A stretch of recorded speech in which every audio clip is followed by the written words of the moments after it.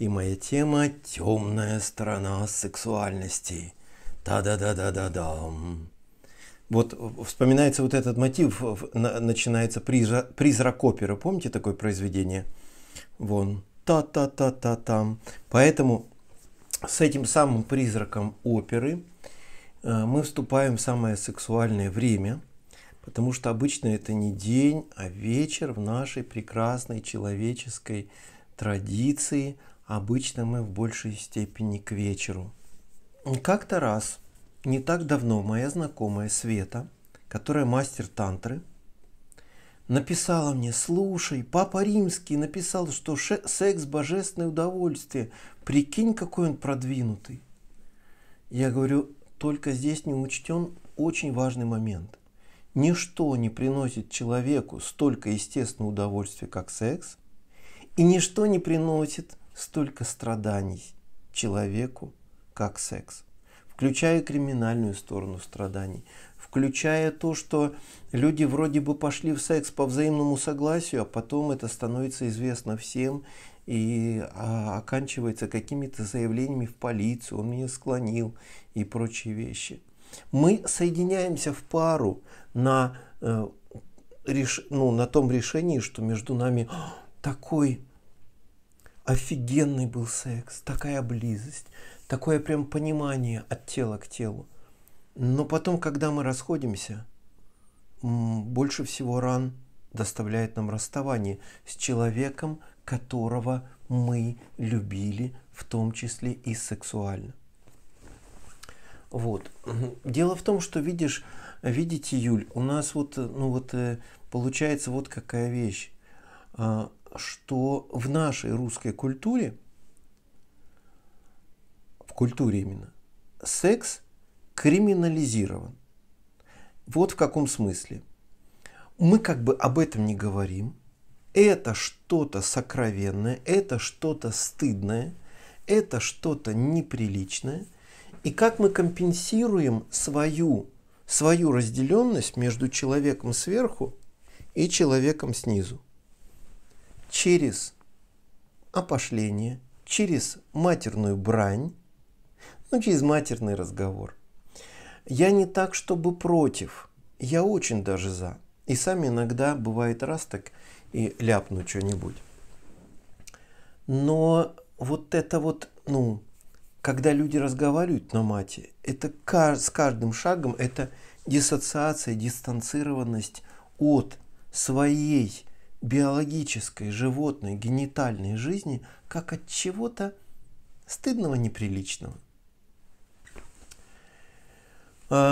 И в этом смысле я, видите, дитя очень многих культур, и христианской культуры, и, между прочим, индийской культуры во многом.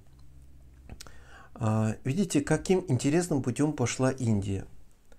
Они а, возвели лингам то есть мужской половой член, и йони, женская, вот эти вот врата священные, да, на уровень священного, сакрального. И одежды, которыми мы прикрываем эти части тела, эти части тела, они покрыты не потому, что это что-то неприличное или какое-то стрёмное, а потому, что это священное и только для единственного. И для единственного женская йони, женская грудь – это э, нечто сокрытое для единственного священника, который войдет в это пространство и совершит там священнодействие. И с таким, видите, у них даже и ритуалы э, такие религиозные связаны с поклонением лингам. У нас в рудиментарной форме это существует в пасхальных куличах с яйцами. Вот пасхальный кулич с яйцами на самом деле, ну, он никакого отношения к христианству не имеет. Но вот когда вы представляете сейчас, да, пасхальный куличик с яйцами, и вот это беленькое что-то сверху налито, и эти все не человек украш... не яйца украшают человека, а человек украшает яйца, красит им и так далее. Это как раз рудиментарно некоторый такой намек на сакральность всех наших родовых каналов. А, я хочу сказать вот о чем. Если мы говорим о сексе как об отдельном процессе, вот здесь говорит, давай позанимаемся сексом. Или, как вот предыдущий оратор сказал, значит, что предложи ему секс. Предложить. Как будто бы секс это какой-то такой то ли товар, то ли предмет, который я предлагаю. Я как бы диссоциирую и отсоединяю от себя все, что связано с сексом и сексуальностью, и предлагаю. Секс стал товаром, в том числе и в товарно-денежных отношениях, и в семейных отношениях. Секс стал объектом манипуляции. Секс стал чем-то отдельным от нашей глубинной сущности. И здесь мы вполне, я вполне могу понять тех женщин, которые говорят, что есть некоторое требование выполнения супружеского долга, но при этом мы душевно уже давно не близки. И вот это я смело считаю и называю извращением. Когда отношений нет, а вот эту самую потребность люди друг от друга, телесная разрядка некоторая происходит. Вот, и вот это вот, по сути, я называю темной стороной сексуальности. Когда потребность еще есть, а душевного контакта между нами нет. И поэтому, а вот как говорить, говорить о, ну, как бы о том, что он, чтобы он был пожестче, я не могу с ним говорить, оказывается, о таких важных, фундаментальных вещах, как мы и наше физическое, телесное взаимодействие. У меня заклеен рот. У меня, возможно, закрыто сердце, потому что если глубже в, в мне, как человеку, который консультирует людей в самых различных областях, вот сюда вот коснуться, сказать, а между вами сердечно это есть, там броня, там прошлые обиды, там заблокировано. Но телесно мы идем в это, даже не задумываясь о том, а вот мы сейчас как кто? По паспорту формально, да, а, а по сердцу мы чужие люди. А идти изменять, ну как бы он не хочет. Вообще множество.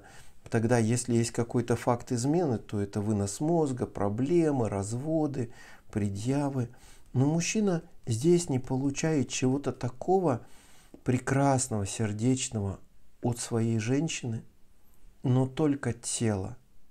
Если мужчина настаивает, на этом и женщина отдает, она, во-первых, усиливает свою рану и боль, свою отчужденность.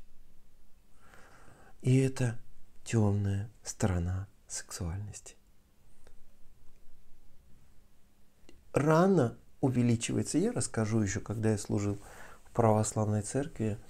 Однажды одна такая вот ну, просвещенная достаточно женщин. У меня был сельский храмик, но просвещенные люди это прежде всего учителя, врачи. Вот.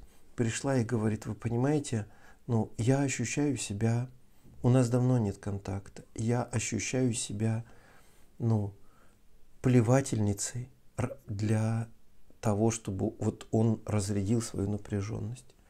Я, мне очень, я говорю, а вы как-то ему говорите, он не слышит он берет, делает свое дело, кроличье, как она сказала, но меня не слышит. И в этом смысле культура, которую я призываю, которую наверняка все предыдущие и последующие ораторы этого фестиваля, в том, чтобы ну, идти в телесную близость, предвар... и при, понимаете, предварительные ласки. Вот очень часто говорят, сексологи нужны женщины больше для разогрева предварительных ласк. Так вся предварительная ласка состоит в очень простой вещи. Когда мы признаемся друг другу, как мне с тобой, а как тебе со мной.